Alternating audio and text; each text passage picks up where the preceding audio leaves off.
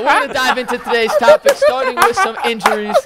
And as always, our first topic of the day is brought to us by FanDuel. As the weather gets colder, the NFL offers stay red hot on FanDuel. And right now, new customers get $150 in bonus bets with any winning $5 money line bet. That's 150 bucks you can spend on cameos from Tyvis and Bull if you win that money line bet and cash in on the bonus bets Check it out. FanDuel. So if you've been thinking about joining Thank you, America's number one sports book, there's no better time than right now to get in on the action. The app is simple to use, and there's a wide range of oh. betting options, including spreads, player props, over-unders, and much, much more. So visit FanDuel.com slash UCSS to kick off the NFL season. FanDuel, official partner of the NFL, an official partner of the Ultimate Cleveland Sports Show.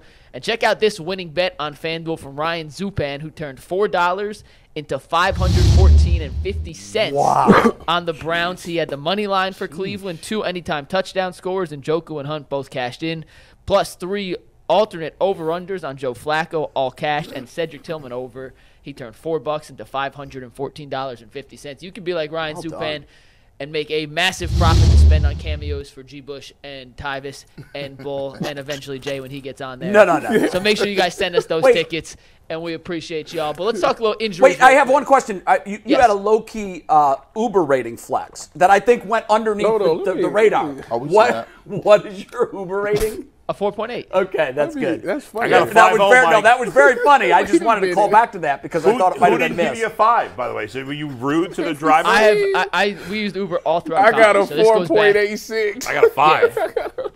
Um, all right, let's talk a little injuries for the Browns, though, guys.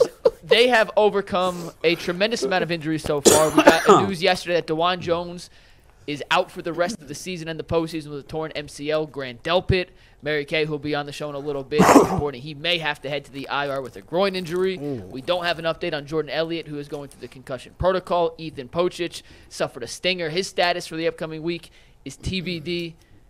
Guys, at what point, and the answer may be there is no point, but at what point are too many injuries too many to overcome for a team as resilient as this Cleveland Brown squad? Not that many more. I don't think there's any. I mean, the, the Browns have already lost most of their best players for a period of time. Well, and what if they lost next week? If they lost Njoku, Myles, Flacco, Cooper, none Yeah, of those I mean- are tipping points for you. no, I mean, I think you've already passed the tipping point. I think you might. I mean, the odds of I- that are, are slim. No, they but- are. But the question was, at what point? Like to your point, Yeah. we're damn close. And I think, I think a lot of teams, if they were dealt the same hand, would have already folded. But I agree with that. and so, but I do think at some point, and I don't know, i- i- is it the Delpit injury? No. I No, don't think it I don't think it is. But there are guys that I, the guys that I just named, we can't lose those guys. I think the tipping point for me would be if Martin Emerson got hurt. I think that that be the the final nail in the coffin. particularly if Denzel If isn't Denzel back. stays Like, out too, I would yeah. agree with that. I would agree if, with if that. MJ Emerson because got that's hurt, such I an attrition be- to one unit. Yeah. Yeah. That would be tough to overcome. Well, I just I, I There's like no one player. No, I like I like them over. No, None. I think that would None. because I although I like Yeah. the depth of this team, I Yeah. think that, that this coaching staff has done a tremendous job of getting whoever the next guy in to come in there and play well. But I think that Martin Emerson has been such a a vital piece. You know, you don't see a lot of passes getting completed on that side. He had two picks last week, which really paid to them winning the game. If he's gone, I don't know who their replacement is because you got G. New who gonna be outside for Denzel. Cam Mitchell's in the slot. Mike Ford's gonna be outside. Yeah, See, no, and that's I, and fair. I'm like that's G, do you agree with that? I'm disappointed. just because you. the That's- I mean, attrition. that's just terrible. a lot of attrition Spade- to one group. Hey, man, when you tell me I'm wrong. Hey, when You're you, wrong. Tyvis know this, man. When you, when you start playing and you start to have a, an example in, in, in, a, in what we what we gonna do in front of you, you you gotta say when people start to get to the point where it's next man up, and then the next man go in and play well, and then he out, and then the next man go in and play out.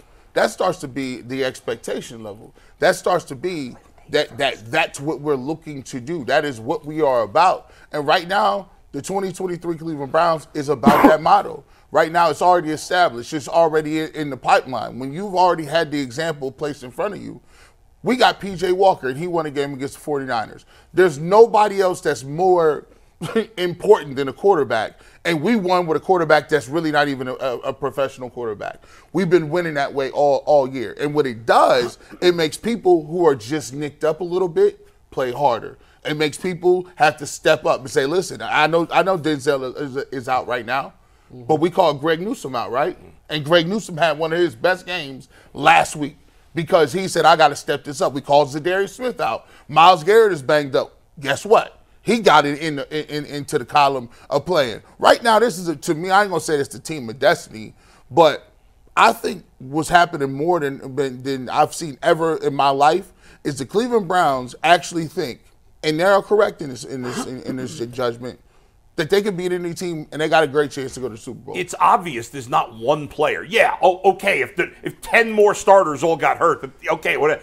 If There's no one player that could get hurt that tips them over, and I'm stunned that you said that that would be the case. Martin Emerson got I- hurt. well, I agree with so him. what? I agree with the Martin That I'm Emerson. surprised by both of you. But but I, I only agree with them if, If Denzel, Denzel stays out. and Grant. uh, uh, yeah. like, Here's- obviously, that's three of the four of that position group. Is one, what was here's the bottom line. injury? Here's the bottom line. They just Uh, Tyvis, calf. okay. They just won a game against a very good team, did they not? Yeah. Okay.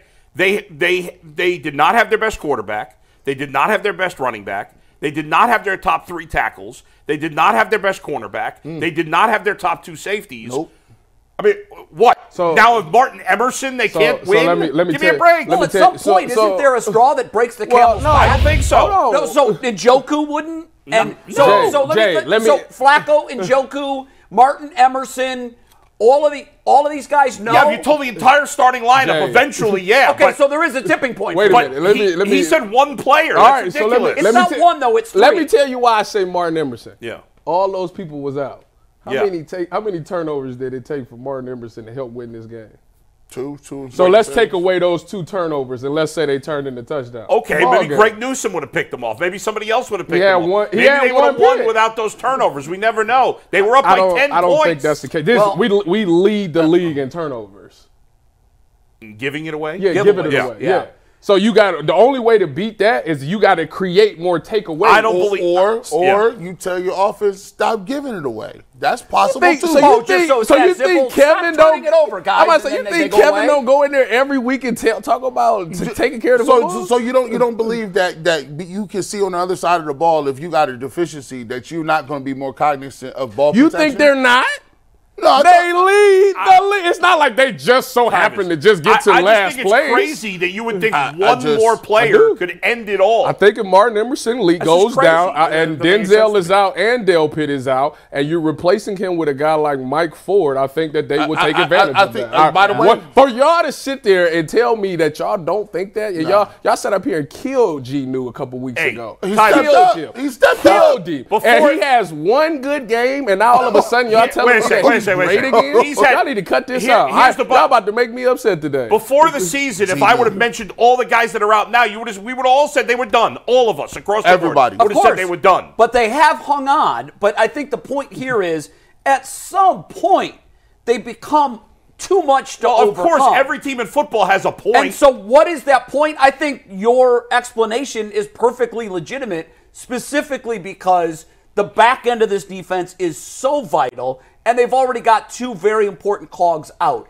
Three out of the four might be more They already have three out. It They- might be they more than already they can- have three out. Okay, then it would be four if Thornhill doesn't play By- next by- week. by the way- so if you've got Yeah. all four of those guys out, and now your second team on everybody in the back of the That's defense, fine. next man up looks great on paper. still gonna Ron, win. I like Ronnie Hickman, Ronnie Hickman plays well. Wh- wh- like okay, is that? Thorn, okay, Thornhill is out. Okay, cool. What they got to do Give with me Ronnie Hickman. What they Let's got to do roll. with MJ Emerson? What I'm I saying, said I'm, if t- I'm, t- I'm, saying it's one player. It's They've one already lost a million players. uh, Well, we got to You know go because because we have a guest